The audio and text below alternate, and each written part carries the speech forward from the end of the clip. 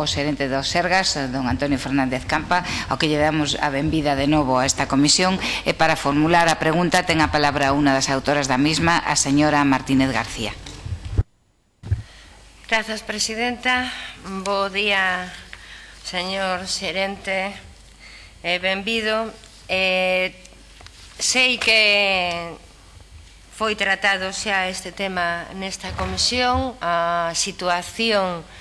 de precariedade na que se topa o servizo de ambulancias, un servizo que no sur de, de Pontevedra crea, dende logo, unha discriminación e unha carga excesiva para os pacientes que van a, de, a hemodiálise levándolle o percorrido hasta nove horas e media eh, para recibir a, o tratamento. Así podemos falar, por exemplo, de casos que salen, por exemplo, do Concello da Garda ás doce e media da mañán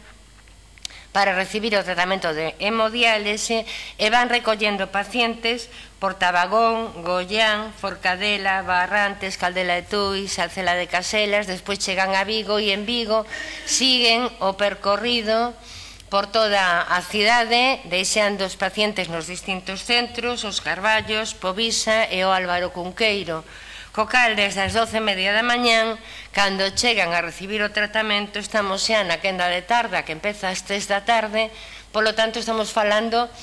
de que teñen que comer ás 12 da mañán ou antes para poder ir ao tratamento e despois ese mismo calvario o volven a pasar a volta do tratamento. Se van recollendo polos distintos centros de Vigo e repartilos seguidamente por cada unha das zonas donde vai quedando cada paciente. Co cal, ao final,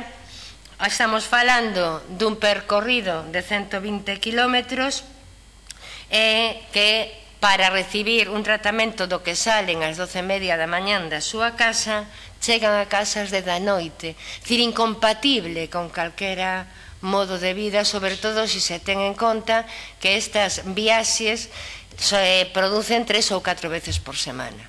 Indudablemente, non está o Sergas dando unha resposta axeitada a estos pacientes que xa de por sí é un castigo tremendo esa dependencia dunha máquina para poder sobrevivir e a situación da súa saúde deteriorada como para pegarse estos eh, paseos en estas rutas sanitarias. Pero isto tamén é consecuencia de como se xestiona todo o sistema de ambulancias, como se entende a propia sanidade pública e como se entende a atención ás persoas enfermas. E así vemos, e o falábamos nunha das intervencións anteriores na que estivo vostede, sobre a situación na que se topan tamén os traballadores e as traballadoras de ambulancias. A precariedade laboral irremediablemente conleva a precariedade asistencial. Cando vostedes licitan a baixa, cando vostedes entregan os contratos a esas empresas, vostedes, o normal, entendo eu, é que en esa licitación o coste aceptable conte co pago de salarios decentes os traballadores e as traballadoras dos sectores que contratan. E non se dá esta situación, vostedes sempre contratan a baixa e ao final se traslada esa contratación a baixa os cadros de persoal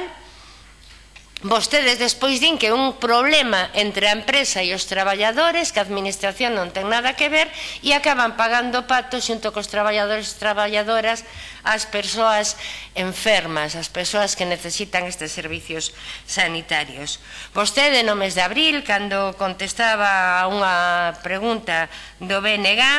Comprometíase a revisar a mellora e mellorar o servicio de transporte sanitario, asegurou que serían revisados todos estos casos denunciados da provincia de Pontevedra co fin de mellorar a súa calidade e que intentarían optimizar os tempos das rutas e os horarios incrementando o número de rutas para dar solucións a, a estos traslados. Eu lle pregunto, agora, Eso foi no mes de abril, estamos a mediados do mes de suño, casi en vacacións, casi a punto de unha, celebrar unhas novas eleccións e, polo tanto, eu así o desexo un novo cambio no goberno e, polo tanto, tamén no, no Sergas, pero me gustaría saber que fixeron dentro do mes de abril tiveron algunha actuación, dirixíronse a alguén, van a aumentar ese número de ambulancias, en que número de ambulancias van cambiar os percorridos, supoño que en dous meses, e ante un problema tan grave,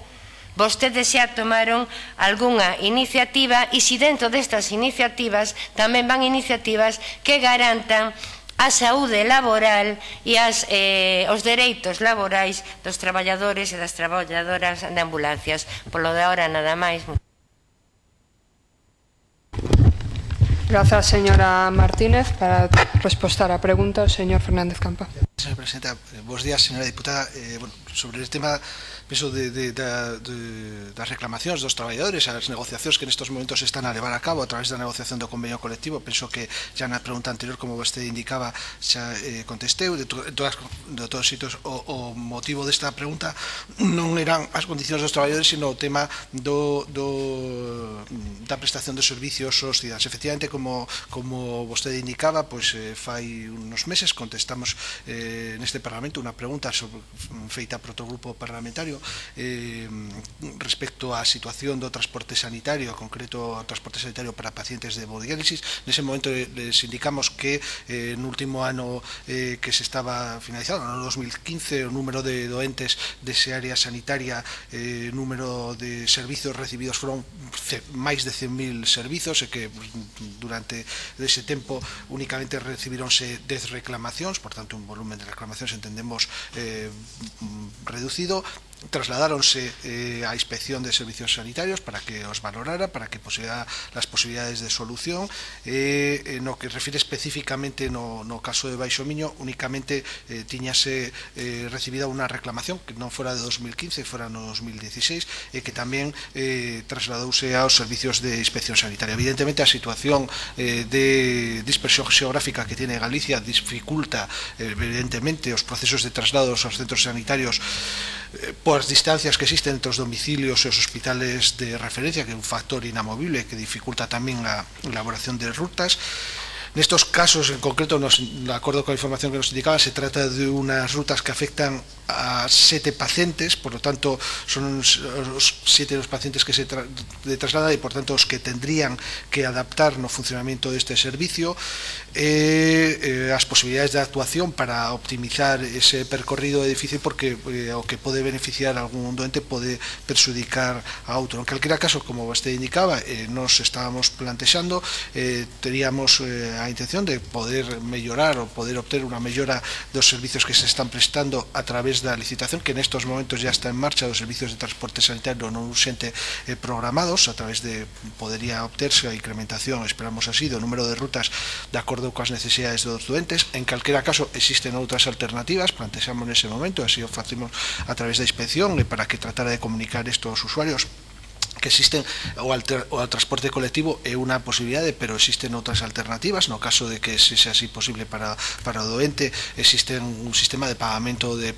de desplazamentos eh, aos cidadáns para as axudas a aqueles casos de doentes que acodan fora do Concello onde reciban asistencia. E por outra banda estamos a traballar nestos momentos eh, tamén eh, na búsqueda da mellora da accesibilidade. Non, non exclusivamente a través da optimización ou mellora das rutas, sino a través de outros sistemas. Sistemas que nos poden permitir en estos momentos os sistemas de diálisis eh, domiciliarios, ya se teñen iniciados procesos deste tipo en doentes e outras áreas para, doentes que, reúnan evidentemente as características necesarias para poder prestar o servicio nestas condicións ou tamén estamos a traballar na búsqueda de solucións a través da eh, eh, o acercamento dos servizos a través de club de diálisis ou centros satélites para tratar de evitar nos que ten, teñamos que cambiar as rutas ou, com, ou tratar de facer eh, compatibles as rutas de distintos doentes que teñen distintos horarios eh, tamén para percibir o servicio, sino sencillamente acercando o servicio eh, dos doentes a, a las zonas donde residen de acordo coa demanda que nestos momentos temos. Actualmente estáse a traballar nestas tres líneas de ayuda, esperamos que a través delas podamos eh, seguir mellorando a prestación eh, que se les dá aos, aos cidades, este caso nos de, aira, nos de área do Baixo Miño. De momento máis nada e moitas gracias. Moitas grazas, señor Fernández Campa. No turno de réplica ten a palabra a señora Martínez.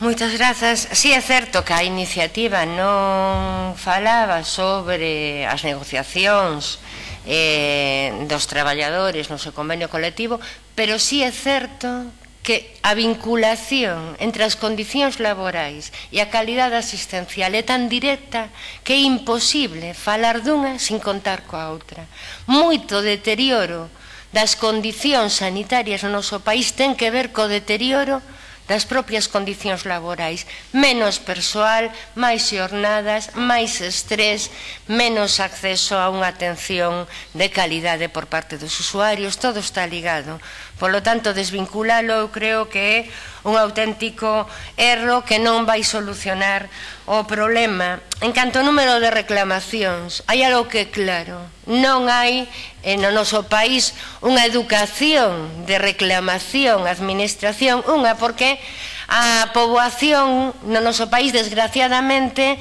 estamos acostumbrados a que os Sergas, fundamentalmente, conteste que es con esas, es, esas cartas tipo que non din nada e que fan referencia a que se atenderá antes posible. Es, hai uns modelos de contestación dos Sergas e contestan igual. Entón, xa non vale a pena reclamar. Moita xente xa con máis intención ou con máis ganas ou con máis humor reclaman ante a, a valedoría do povo, por exemplo. Pero realmente se o concepto da reclamación ante os sergas se considera inútil. Eu o digo porque personalmente si teño reclamado sergas e recibido esas contestacións tipo que o único que fan é cabrearte porque parece que te toman por idiota, sinceramente. Entón, me dá igual que os foran 100.000 servicios e de reclamacións, hubera unha reclamación ou non hubera ningunha reclamación. O que si sí é certo que as reclamacións están na sociedade, inda que non cheguen por escrito os sergas, o cual me parece unha pobre disculpa. En canto á dispersión xeográfica, está claro que Galiza ten un problema de dispersión xeográfica, pero non é este o problema de Pontevedra é unha, toda a costa de Pontevedra está moi poboada e en todo caso será unha falta de acceso aos servicios o que hai. En canto ás actuacións que benefician uns perxudican a outros, depende das que se tomen, evidentemente, a que buscar solucións, por rematando que non perxudiquen a ninguén. E dentro das outras alternativas, evidentemente, a mí o que me parece moito máis lóxico é que os servicios asistenciais deste tipo, eh, que se utilizan 3-4 días a semana por persoas se deberían de ter organizado a nivel comarcal, sobre todo unha zona tan poboada como é a costa da provincia de Pontevedra. Por lo tanto, estamos falando de eh, investimento en saúde e eh, de beneficio para toda estas persoas que con nunha zona con unha poboación suficiente como para establecer xa non esa diálise a domicilio, pero o mellor sí que se poden facer con marcais de feito que os desplazamentos non superen os 20 minutos media hora eh, para as persoas usuarias. Pola miña parte, eh, nada máis. Grazas, señora Martínez. No turno de peche ten a palabra o señor Fernández Campa. Eh, moitas grazas, señora